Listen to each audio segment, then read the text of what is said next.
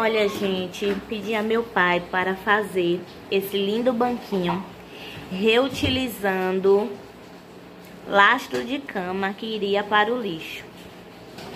Então, eu guardei o lastro.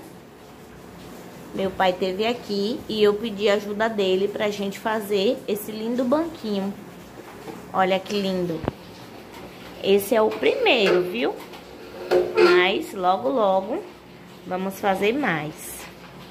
Então, vamos do lixo ao luxo. Depois é só pintar e vai ficar super lindo na minha cozinha. E aí, o que vocês acharam? Desde já, peço a vocês que deixem o like aí no vídeo, um comentário abaixo do vídeo, me dizendo o que vocês achou. E eu quero agradecer a meu pai. Obrigado, meu pai, pela ajuda, pelo banquinho que o senhor fez.